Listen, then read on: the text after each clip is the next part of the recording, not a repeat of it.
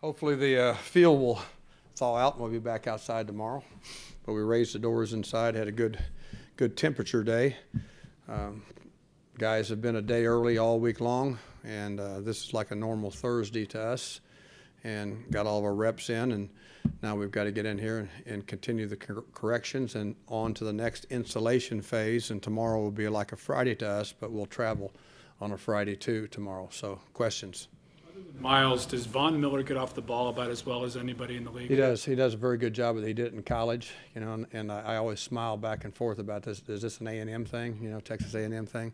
Uh, but and and they they they do have a relationship, and uh, I think Von does a really good job. You know, that pass rush clinic thing that he does with all those rushers in the offseason is kind of cool. And those guys kind of bond. All the rushers in the league kind of hang out and do some things together that way. But they do a, a very good job of anticipating the snap count. You know, last week, you, you know, had, he had several offsides last week. Is he more dangerous too when you guys are in a situation where you've got to use the silent count and then you may. It's you- you always to- better at home. It's always better at home, you know, because in, in those situations, uh, though, you know, he doesn't get caught up in the cadence either because he can't hear either. So typically, you, you do have advantages in those situations at home. Typically, yes. Greg, Lindsay, uh, what are you seeing that's made him so successful as a rookie? He's, he's, he's got really good vision.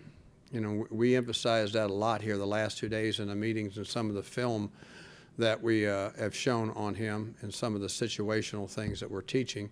Um, you can have everything stoned up pretty good, and uh, he can find the one person. And last week, there were several examples last week and the weeks before where the teams, the defenses were pretty gap sound, and he has enough vision to press it to the one leak, the one area.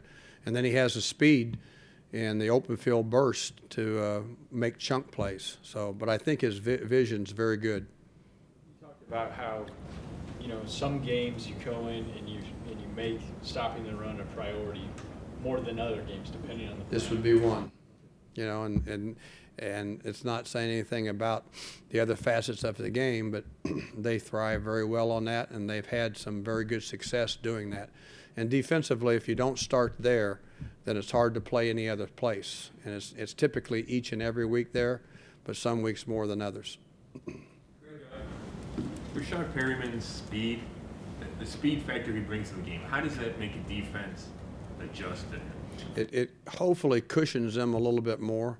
And also, you know, some of the secondary force elements, you know, uh, in space plays and the secondary force elements in run plays makes it a little bit less aggressive because people know that, you know, we do have enough speed to run by you in those situations. And he's uh, had a really, day by day since he's come in here, he's done very well.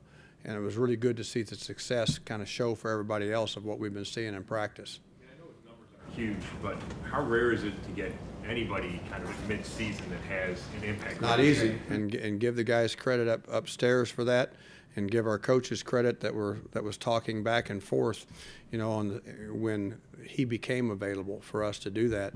But we were all on board with, uh, that person, with him getting an opportunity here, and he's, and he, to his credit, he's come in and earned his chances here. He's done a very good job. You or Schobert mentioned yesterday that Keenum can be a little bit of a gunslinger.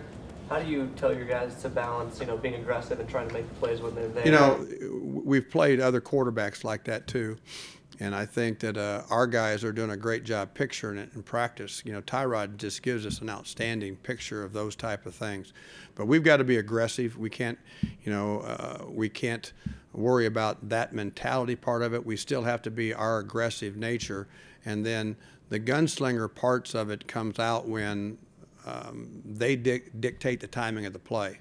So we've got to do a good job in our rush element and how rush and coverage work hand in hand. But we can't be surprised that it, that Case will throw it into tight coverage. And sometimes where there is a maybe a relaxation point where you think you got your guy covered and you don't have your head around, that's not right because he'll he'll put the ball in a tight window. Greg, the last five games, um, you're three and two, that's great. But some defensive numbers are down.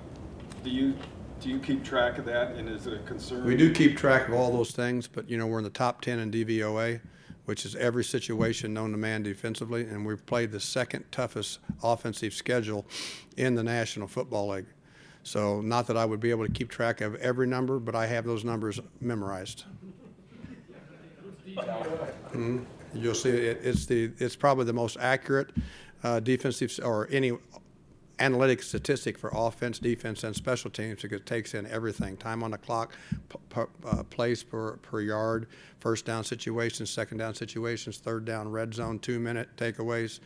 And it all blends into one, and you'll see that uh, defensively we've we've played the the second toughest schedule to date right now on the offenses we played and how well we've ranked up in there, and we've got to continue to fight and struggle and do what we can do. Denzel missing again today. Are you ready to kind of rule him out for this game? You know, I, I will never ever say it until tomorrow. You know, but tomorrow's a, a definite practice day. But uh, you know, he's been making progress. He has.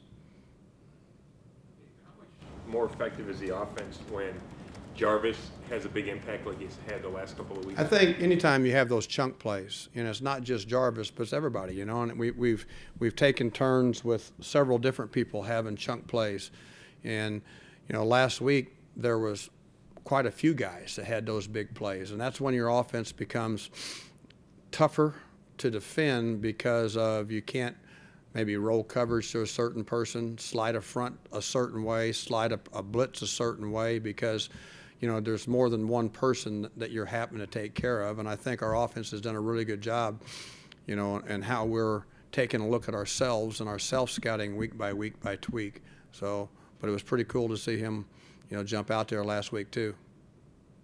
How long You've been using uh, DVOA. Uh, in the last several years, you know, the last the, the last several years is when it's become um, those services and stuff have become uh, pretty accurate and in the league, you know, maybe some of us coaches have uh, they've gotten our respect on some of the things on how accurate that looks as a total defense as opposed to one particular area. And then the things that you look in this area is, is again, you know, we've already played more plays, and there won't be anybody to catch up with us in plays, you know, this year. You know, on, on when you take a look at just total yardage or total plays and all that kind of stuff, there has to be other factors that figure in. Can they stick in variables like what scheme you were in or what play was Everything called? they can they, they can do it if you want it that way. Yeah, if, if if that's how you want it, you could. Yes.